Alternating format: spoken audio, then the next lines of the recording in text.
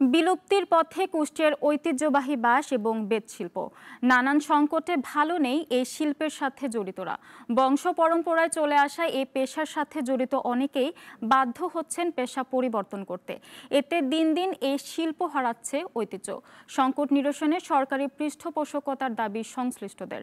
কুষ্টিয়া থেকে রাশিদুল ইসলাম বিপ্লবের রিপোর্ট, জানাচ্ছেন সিরাজুমনি শুভ।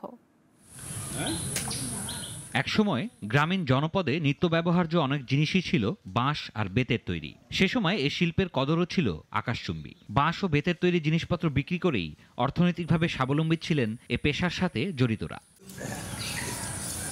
কিন্তু কালের বিবর্তনে প্লাস্টিক আর কাঠের তৈরি জিনিসপত্রের ব্যবহার বাড়ায় হারিয়ে যেতে বসেছে কুষ্টিয়ার ঐতিহ্যবাহী বাঁশ আর বেত শিল্প এ পেশার সাথে জড়িতদের ভাগ্যে নেমে এসেছে চরম দুর্দিন। কোনো রকমে খেয়ে না খেয়ে চলছে তাদের জীবন। এখন যা ইনকাম করি তাতে চলে না।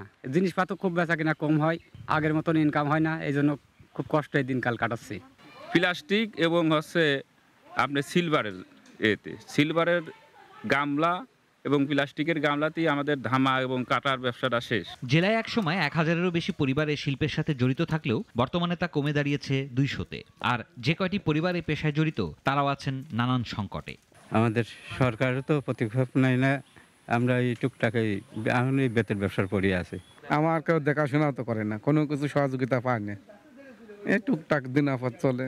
এইভাবেই। গ্রাম বাংলার ঐতিহ্যবাহী এই শিল্পকে টিকিয়ে রাখতে সহজ শর্তে ঋণের ব্যবস্থা সহ সার্বিক সহযোগিতার কথা জানালেন বিসিকের এই কর্মকর্তা। স্বল্প সুদে আমরা তাদেরকে ঋণের ব্যবস্থা করতে পারব এবং তাদেরকে আমরা আধুনিক ও যুগ উপযোগী ট্রেনিংয়ের মাধ্যমে তারা যেন এই পেশায় এক- আহ, থাকতে পারে সেই ব্যবস্থা করব আধুনিকতার ছোঁয়ায় হারিয়ে যেতে বসাই শিল্পের সাথে জড়িতদের আর্থিক সংকট নিরসনে সরকারি পৃষ্ঠপোষকতা চাইলেন এ পেশায় জড়িতরা।